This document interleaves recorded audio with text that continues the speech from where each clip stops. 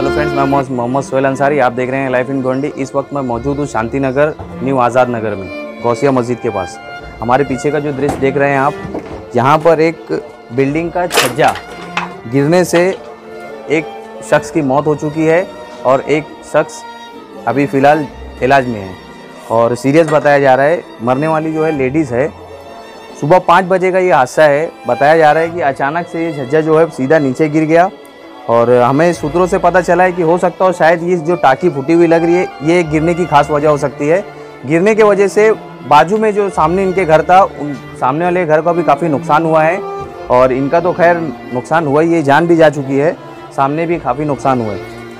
तो अभी फ़िलहाल एक शख्स की मौत बताई जा रही है और एक एक शख्स की इलाज चालू है। आगे की जानकारी देखते हैं और कुछ। देखते रहे इसी तरह लाइफ इन भिवंडी मैं मोहम्मद सोहेल अंसारी, कैमरे के पीछे आमिर अंसारी।